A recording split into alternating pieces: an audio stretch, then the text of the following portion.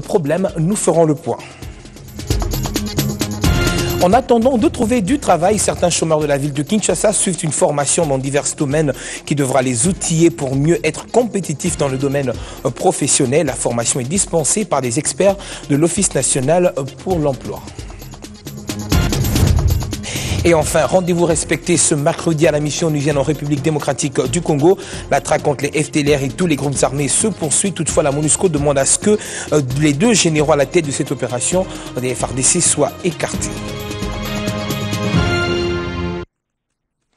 Bienvenue à tous. Martin Kobler a affirmé que son institution reste volontiers aux côtés des FRDC pour mettre fin définitivement aux activités des éléments rebelles encore opérant dans l'Est de la République démocratique du Congo. Il a fait savoir ce mercredi au cours du point de presse hebdomadaire de la mission onusienne en RDC. La mission onusienne se dit prête, mais aussi déterminée à soutenir les FRDC dans la traque contre les FDLR, à condition que le gouvernement accepte de destituer les deux généraux des FRDC accusés des violations de droits de l'homme. Martin Kobler, quoique un tout petit peu réservé, a fait remarquer que la MONUSCO est en discussion avec les autorités du pays sur la question. Car pour la MONUSCO, la politique de diligence de droits de l'homme doit être respectée. C'est une question qui est discutée entre la MONUSCO et le gouvernement. Ce n'est pas discuté avec la presse, c'est avec le gouvernement. Parce que nous voulons avoir une solution. C'est une, euh, une, opération qui est menée par les FRDC avec le soutien de la MONUSCO. Un ne peut pas le faire avec l'autre. Nous avons les moyens, nous avons les hélicoptères d'attaque, nous pouvons soutenir avec des moyens opérationnels, nous pouvons soutenir avec les moyens logistiques. En ce qui concerne la lutte contre les ADF, la mission onusienne affirme avoir une bonne coopération avec les FARDC sur le terrain et que les opérations se poursuivent normalement. Il y a eu Umoja 1, il y a eu Umoja 2 et actuellement nous sommes en train de mener l'opération Umoja 3 en parfaite coordination et en parfaite harmonie avec les forces armées de la République démocratique du Congo avec lesquelles nous partageons toutes les rigueurs de cette opération.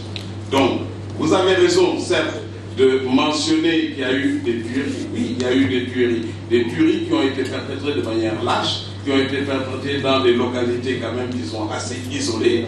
L'opération Soukola 2, lancée le 29 janvier 2015 par l'armée gouvernementale, se poursuit normalement, bien que jusqu'à ce jour, les troupes coalisées et les éléments FDLR n'ont pas encore été aperçus sur le terrain. Toutefois, le 9 février dernier, des accrochages ont eu lieu entre les FARDC et les FDLR dans la région de Mangouré-Jipa, située à 100 km au sud-ouest de Boutembo. Bilan, un élément FDLR tué et un civil a péri au cours de ces combats. Et sur la question de la traque contre les FDLR, il faudrait dire que l'ultimatum des Nations Unies au gouvernement congolais euh, pour le remplacement des généraux controversés euh, court jusqu'au 13 février. Et après, d'après Kinshasa, il n'est pas question d'évincer ces vaillants soldats qui ont vaincu les rebelles ougandais de l'ADF Nalu. C'est ce qu'on apprend des sources proches du gouvernement.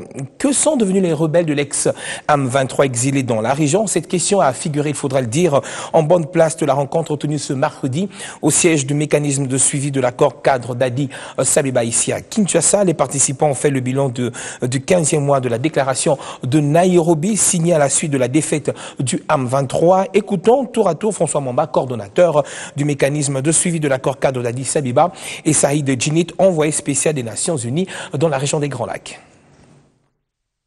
Nous avons au cours de la réunion d'aujourd'hui échangé de manière à pouvoir avoir entre nous, RDC, l'Ouganda qui était là, représenté par son ambassadeur, le Rwanda qui était représenté par euh, ses conseillers à l'ambassade, tous, devant cette communauté internationale, avoir la même lecture sur les avancées qui sont là, qui sont réelles, dans la mise en œuvre de ces déclarations, sur les quelques mesures qui restent à euh, mettre en œuvre de manière à ce que les choses puissent aller à leur La région fait face à d'autres défis sécuritaires. Nous avons la question des ADF Nalou qui n'est pas complètement réglée dans, la région de Béni et nous avons la question des FDLR qui entière.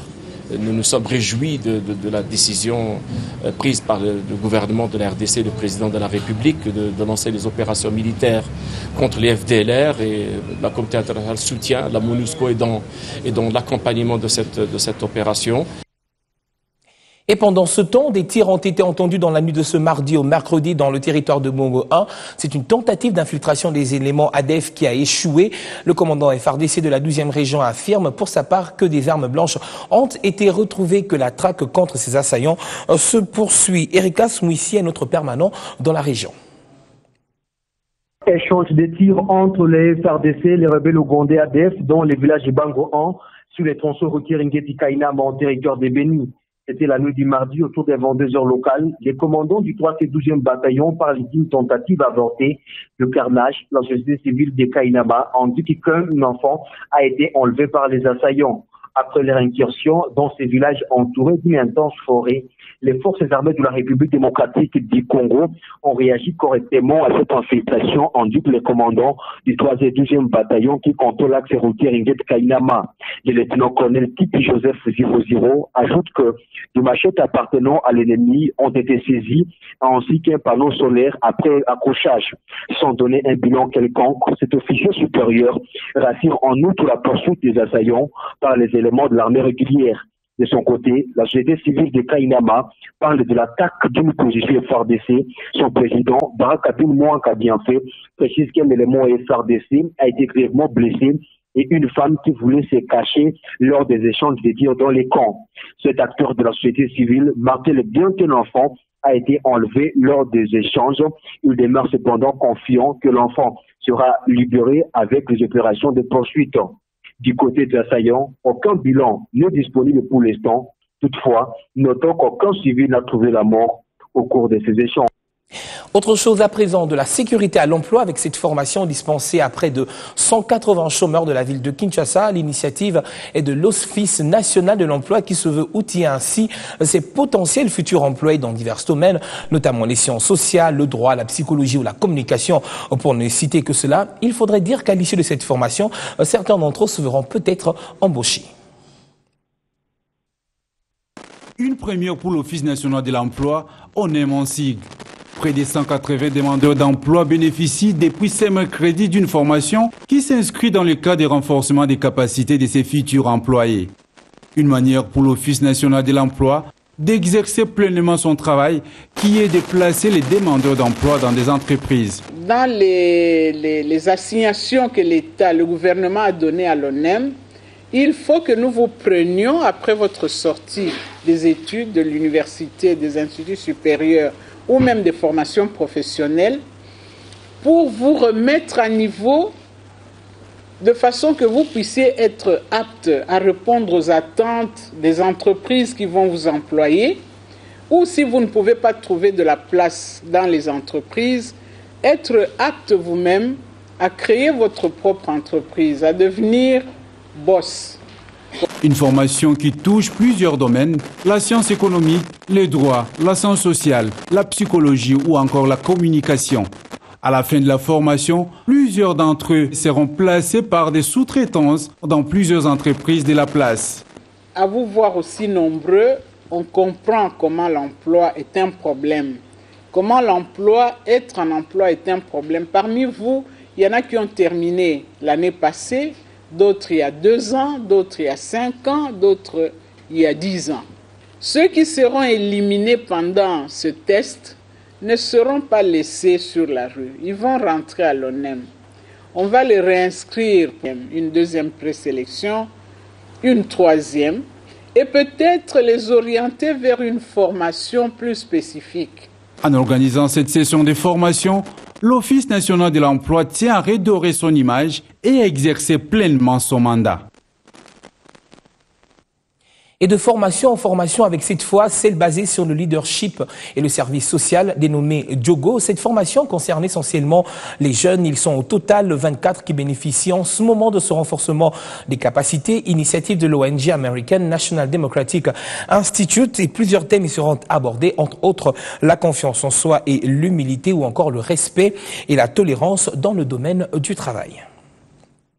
Les projets Diogo entrent dans le cadre des programmes Tomiko Tissa de l'ONG américaine National Democratic Institute. Il sera mené par des jeunes futurs dirigeants du pays. Et plusieurs thèmes devront être abordés, entre autres la confiance en soi et l'humilité, les respects, la tolérance ou encore la simplicité ou le dévouement. Le Jogo, ça concerne les, les, des jeunes, euh, avec lesquelles on va transmettre les valeurs dans le contexte sportif.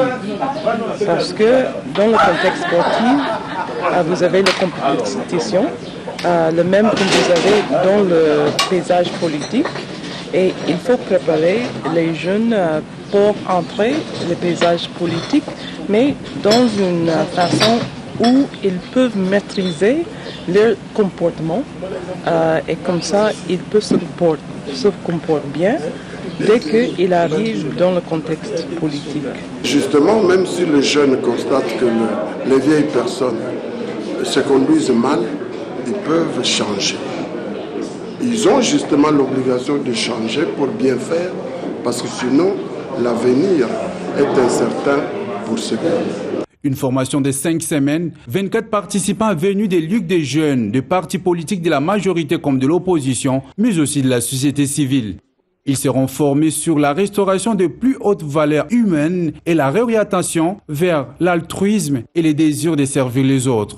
Nous allons faire la restitution non pas pour, par plaisir de le faire, mais parce que nous devons encadrer euh, nos camarades, jeunes comme nous autres, dans toutes les formations pour qu'il pour qu règne cet esprit de fair play. Parce que nous devons avoir une va s'élever, qui va marcher. Ces concours-là ne peuvent marcher qu'avec des jeunes, des femmes qui consultent la grande de notre population. Ça sera un, un apport euh, vraiment important pour la jeunesse parce que là on parle de l'humilité, on parle de la tolérance, on parle du fair play. Euh, on a parlé de tant de choses qui handicapent un peu euh, l'évolution de notre démocratie ici et on se dit que les jeunes, et c'est ce qui est vrai, la jeunesse c'est l'avenir de demain. Au terme de ces formations, les membres de ces ligues des jeunes qui seront formés au niveau de NDI devront aller au sein de leur communauté et donner des formations en cascade aux membres de leur communauté, plus particulièrement à la jeunesse qui, qui se retrouve dans les communautés. À travers ce nouveau projet Diogo, l'NDI encourage les partis politiques et leurs ligues des jeunes au respect des méthodes, d'éthique, mais aussi des fair play. Protection de l'enfant, lutte contre les violences sexuelles faites à la femme, toutes ces questions ont été abordées au cours des audiences accordées par la ministre du Genre, Famille et Enfants, tour à tour, d'abord avec le représentant de l'ONG World Vision, puis à la conseillère spéciale du chef de l'État en matière de lutte contre les violences sexuelles. Je propose ici de suivre tour à tour Vianney Tshisekedi et Janine Mabunda. Nous sommes venus voir son Excellence, premièrement d'abord pour lui présenter les civilités, euh, et puis deuxièmement, euh, nous avions un projet, un projet sur euh, comment accélérer la mise en œuvre de la loi sur la protection de l'enfant. Et nous avions travaillé longtemps, ça fait à peu près deux ans qu'on a travaillé ensemble. Et aujourd'hui, nous sommes venus juste donner le niveau d'accomplissement de cette tâche. Et nous, nous sommes aussi, nous avons aussi donné à son Excellence les différents résultats que nous attendons de, cette étude, c'est que euh, nous voulons qu'à la fin, que les enfants soient dotés d'un cadre beaucoup plus approprié pour ce qui est euh, de la participation au travers des parlements d'enfants, d'une part, et aussi euh, le Conseil national de l'enfant qui devrait être actualisé pour que cela reflète réellement la loi sur la protection de l'enfant. Nous sommes, comme vous avez dit, pratiquement ensemble sur le même terrain, mais ce n'est pas seulement la ministre du Genre et, nous-mêmes. Euh, c'est la nation congolaise au travers de toutes ces institutions. Euh, nous sommes soudés et solidaires ensemble pour adresser le problème de la lutte contre les violences faites aux femmes, profitant du retour à la paix et euh, pour euh, remettre les femmes dans leur dignité et dans leur sécurité par rapport à cette question. Que si on condamne 10 militaires auteurs de viol à Massissi en septembre 2014, si on condamne 14 policiers militaires à Rutshuru en octobre 2014, si en novembre 2014 on condamne le général Kiakwavu, qui est la, le premier général au gradé de l'armée qui a été condamné pour des cas de viol sur deux fillettes de 12 et de 13 ans en Ituri, on ne parle plus de ce qu'on va faire dans le futur, on parle de ce que nous avons fait, qui sont les réalisations de cet État qui dit qu'aujourd'hui, c'est la tolérance zéro par rapport aux questions de violence faites aux femmes. Il faut laisser les femmes s'épanouir dans leur dignité. Et en bref, cet accident de circulation hein, qui a eu lieu ce mercredi précisément sur la route Matadi à hauteur de la cité verte, un accident de travail qui a emporté un agent commis à la réhabilitation de la chaussée route Matadi. La victime euh, qui se trouvait à l'arrière du gros véhicule de travail conduit par un chauffeur expatrié n'a pas résisté aux secousses et s'est jeté simplement sur le macadam avant de se voir écrasé par les roues de cet engin. Aux dernières informations qui nous sont parvenues, son corps a été acheminé à l'hôpital Montcollet. Allez, autre chose à présent. Le gouvernement de la RDC, le groupement d'entreprises grecques euh, Sopeco ont signé ce mercredi un contrat des travaux et de construction des routes nationales numéro 2, 4 et 27 euh, localisées dans la province du Nord Kivu et celle de la province orientale. Le caucus des élus de ces deux provinces concernantes également été convié à cette cérémonie qui a eu lieu au ministère des Travaux publics. Les routes nationales numéro 2, tronçon Kassindi-Beni, et le segment Beni-Boutembo de la route nationale numéro 4, ainsi que la route nationale numéro 27, allant de Goli à Mahagi, Bounia puis Komanda, sont officiellement concédés par le gouvernement de la République au groupement d'entreprises CREC 7 Sopeco pour leur réhabilitation sur une période de 7 à 10 ans, suivant la rentabilité économique selon le modèle par niveau de service. La cérémonie relative à cet événement a vécu mercredi 11 février au ministère des Travaux publics.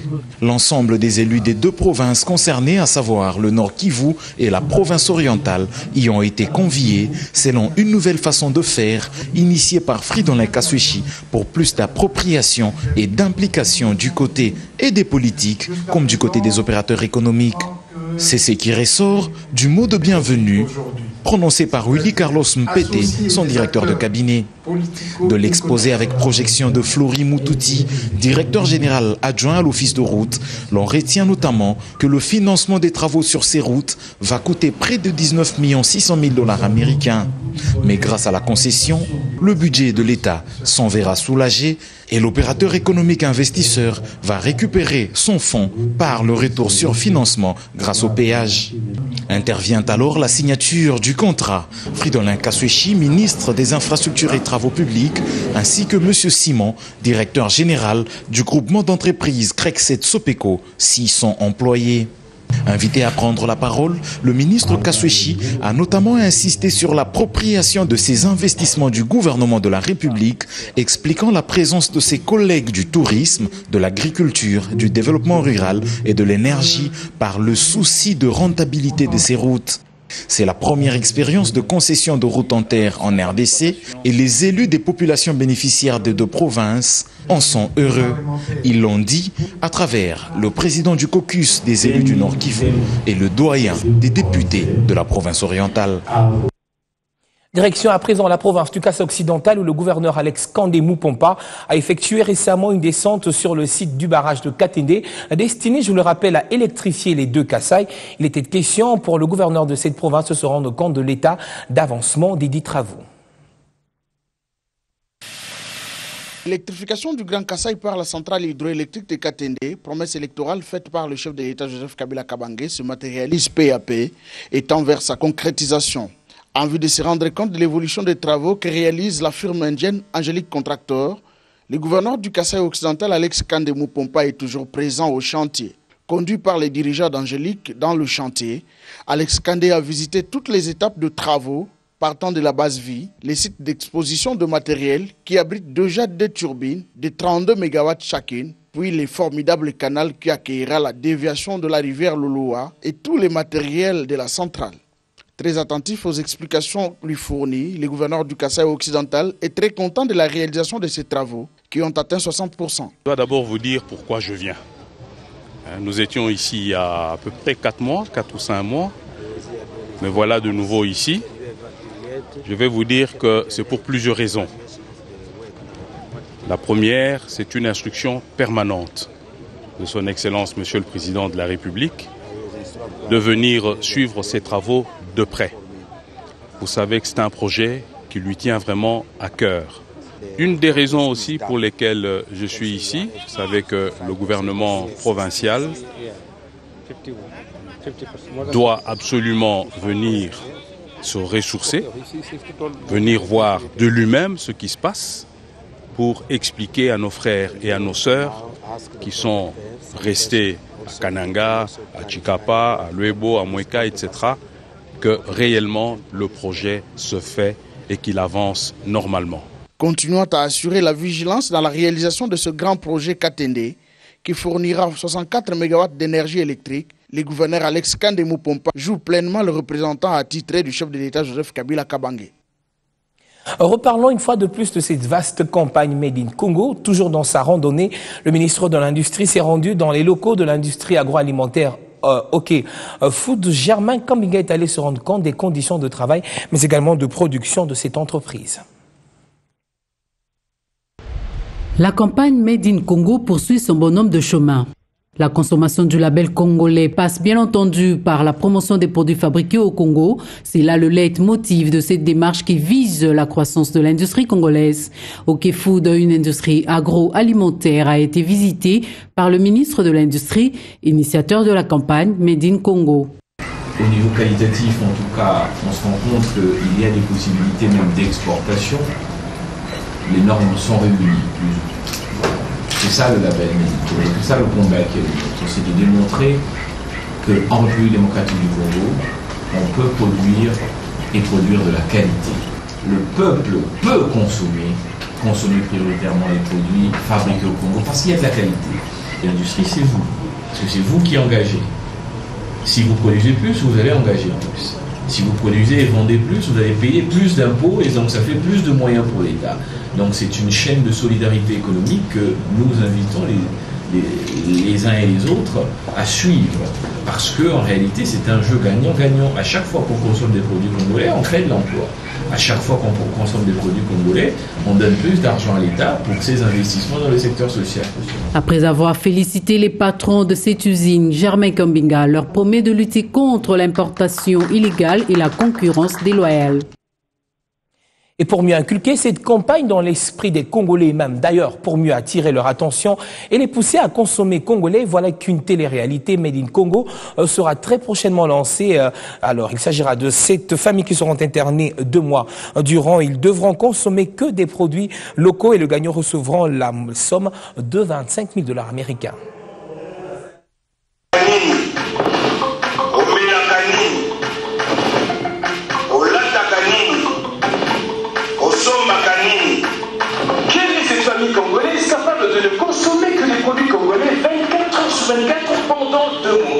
Cette télé-réalité débute les mois prochains.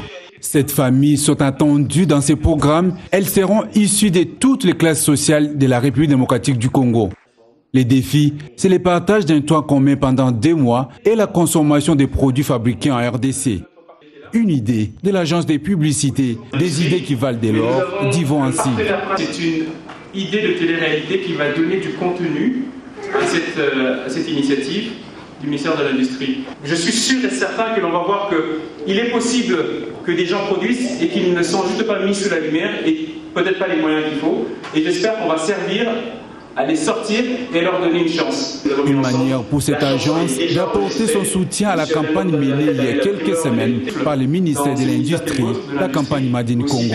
Nous avons lancé ce concept et puis un jour on a reçu un courrier d'une entreprise congolaise qui souhaitait accompagner cette idée. Pour nous, il s'agissait tout simplement de constater que le message était porteur.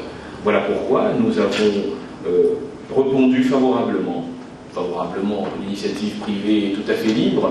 Nous avons remercié, je devrais dire, cette entreprise pour cette idée qui va, à travers un médium de communication novateur, très jeune, la télé-réalité, porter encore plus loin cette grande idée du patriotisme économique. Une initiative qui trouve l'adhésion de plusieurs partenaires, les entreprises purement congolaises ou qui soutiennent les petites et moyennes entreprises de la RDC. Il est temps qu'on développe l'industrie et les PME au Congo. À l'issue de cette aventure, la famille gagnante empochera 25 000 dollars américains.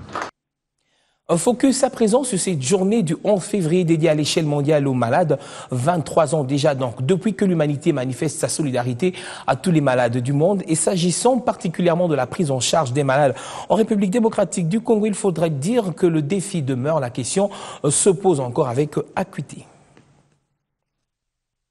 La journée mondiale de malades porte une signification exceptionnelle pour l'Église catholique. Une grande importance notamment parce qu'elle a été instituée depuis 1992 par leur Saint-Père, Feu Jean-Paul II. Occasion saisie justement par l'église Saint-Sacrement des Delvaux pour convier les fidèles à un temps de méditation et des prières en faveur de tout le malade. Pendant que le monde entier célèbre cette journée, la prise en charge de malades demeure encore un réel défi à relever pour la République démocratique du Congo. La population éprouve des difficultés pour se procurer des soins adéquats. Certains se voient même retenus à l'hôpital faute de moyens financiers. Je viens d'accoucher, mais je suis retenu à l'hôpital faute de moyens que je n'ai pas encore trouvés. Si sous d'autres cieux les mutuelles de santé prennent de plus en plus de l'ampleur, non pas dans le but de remplacer les pouvoirs étatiques, mais plutôt pour prêter main forte aux États en vue de pallier cette situation, à Kinshasa, bien que certaines personnes ont eu à bénéficier de bienfaits des mutuelles de santé, d'autres par contre ignorent encore les avantages à en tirer.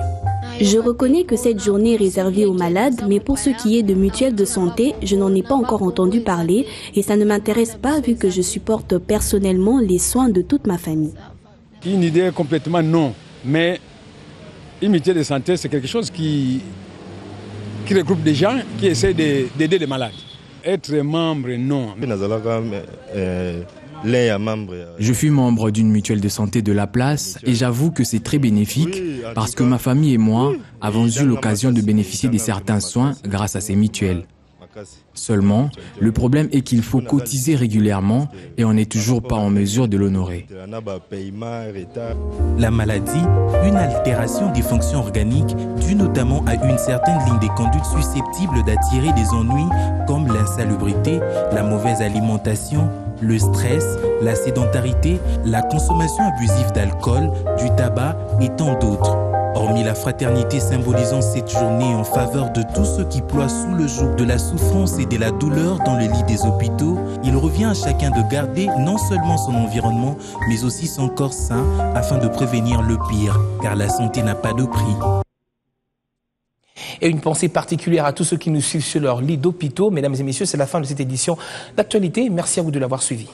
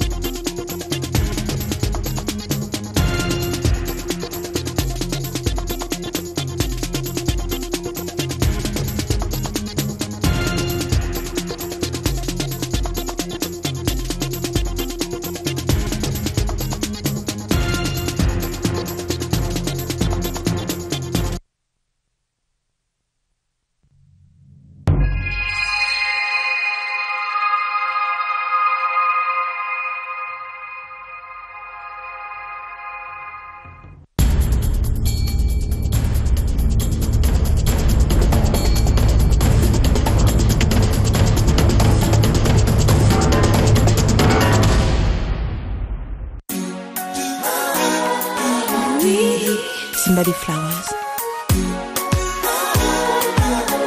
Dites-le avec des fleurs. Somebody Flowers. C'est tout ce que j'ai dans le cœur. Valentine, Valentin, bientôt le 14 février. Voici le moment propice d'offrir à son amoureux des millions bouquets de fleurs.